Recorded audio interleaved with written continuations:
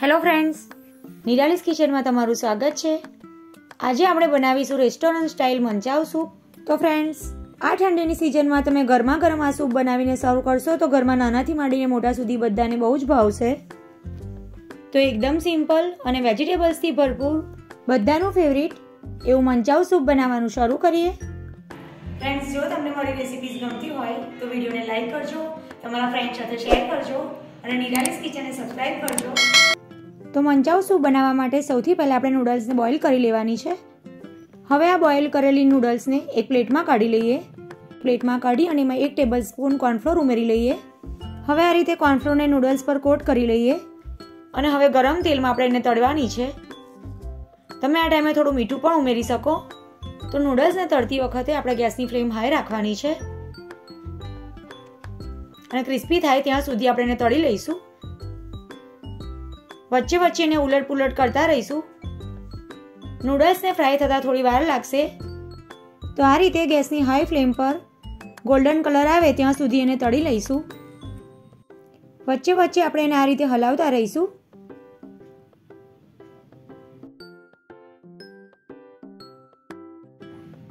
તો હવે તમે જોઈ શકો છો કે નૂડલ્સ આપણી તળાઈ ગઈ છે અને ક્રિસ્પી થઈ ગઈ છે. તો આ ટાઈમે હવે આપણે એને તેલમાંથી બહાર કાઢી લઈશું.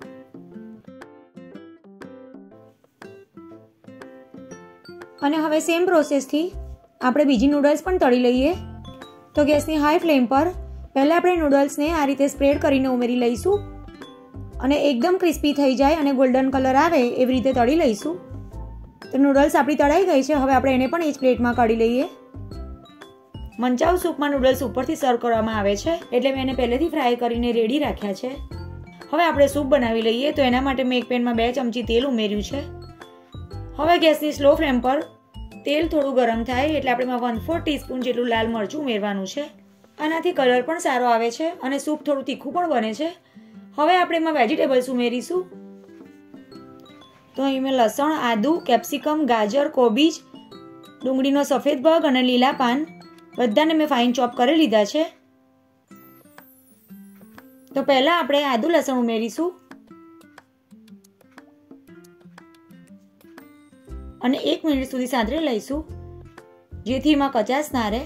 હવે આદુ લસણ સંતળાઈ જાય એટલે આપણે એમાં ફાઇન ચોપ કરેલા બીજા વેજીટેબલ્સ ઉમેરી લઈશું. વેજીટેબલ્સ તમે તમારી ચોઈસ પ્રમાણે ઉમેરી શકો. વેજીટેબલ્સ તમે જેટલા ઝીણા સમારશો એટલું જ સૂપ સારું બનશે. તો અહીં મેં બધા જ વેજીટેબલ્સ ઉમેરી દીધા છે. લીલી ડુંગળીના લીલા પાન મેં થોડા રવા દીધા છે, જે આપણે સર્વ કરતી વખતે યુઝ કરીશું. તો હવે ગેસની મીડિયમ ફ્લેમ પર બે મિનિટ માટે બધા જ વેજીટેબલ્સને આપણે સાંતળી લઈશું. વેજીટેબલ્સને વધારે કૂક નથી કરવાના.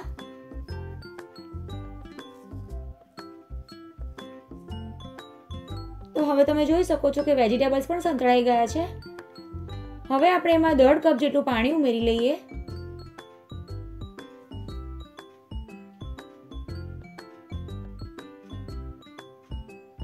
મિક્સ કરી લઈએ એકવાર.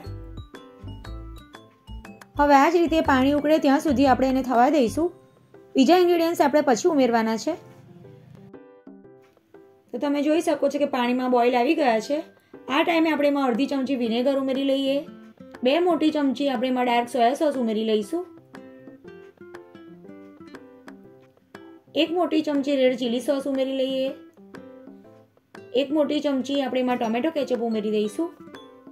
અને હવે અડધી ચમચી મીઠું ઉમેરી લઈએ. મીઠું થોડું સાચવીને ઉમેરવું, કારણ કે સોસમાં પણ મીઠું હોય છે. તો વધારે ના થઈ જાય અને વન ફોર ટીસ્પૂન આપણે કાળા મરીનો પાવડર ઉમેરી લઈએ. અને બધું સારી રીતે મિક્સ કરી લઈએ. હવે એમાં અડધી ચમચી ખાંડ ઉમેરી લઈએ. હવે એક મોટી ચમચી આપણે કોર્નફ્લોર લઈ, એમાં થોડું પાણી ઉમેરી, એનું બેટર બનાવી લઈએ. કોર્નફ્લોર ઉમેરવાથી સૂપનું ટેક્સચર બહુ સરસ આવે છે. તો ડાયરેક્ટ એમાં એડ ન કરતા આ રીતે સ્લરી બનાવીને ઉમેરીશું. તો આ રીતે મિક્સ કરતાં કરતાં સ્લરી ઉમેરી દઈશું. જેથી એમાં લમ્સ ના રહી જાય. જો આ ટાઈમે તમને એવું લાગે કે સૂપ વધારે થીક છે, તો પાણી ઉમેરી શકો છો અને વધારે પાતળું લાગે, તો થોડા કોર્નફ્લોરની સ્લરી બનાવી એડ કરી સરખું કરી લેવાનું. હવે બે મિનિટ આપણે મીડિયમ ફ્લેમ પર ઉકાળી લઈશું. હવે બે મિનિટમાં જ તમે જોઈ શકો છો કે સૂપમાં બોઇલ આવી ગયા છે અને સૂપની કન્સિસ્ટન્સી પણ ઠીક થઈ ગઈ છે. તો આ ટાઈમે ગેસને બંધ કરી દઈએ. તો સેમ રેસ્ટોરન્ટમાં મળે છે. એવું જ મંજાવ સૂપ આપણે ઘરે બનાવીને તૈયાર કરી લીધું છે. તો ફ્રેન્ડ્સ તમે જોયું ને કે પંદર જ મિનિટમાં આપણું મંચાવ સૂપ બનીને તૈયાર થઈ ગયું છે. હવે આપણે જે લીલી ડુંગળીના પાન રાખ્યા હતા, એને ઉમેરી લઈએ. અને લાસ્ટમાં આપણે ફ્રાય કરેલા નૂડલ્સ ઉમેરી લઈએ. અને ગરમા ગરમ સૂપને શરૂ કરી લઈએ. તો તૈયાર છે આપણું ગરમા ગરમ અને એકદમ ટેસ્ટફુલ, બધાને ભાવે એવું મંચાવ સૂપ. તો આ વિન્ટર સિઝનમાં રેસ્ટોરન્ટ સ્ટાઇલ મંચાવ સૂપની રેસીપી એકવાર ચોક્કસ ટ્રાય કરજો. તમને બધાને બહુ જ ભાવશે. બાળકોને પણ બહુ મજા આવશે.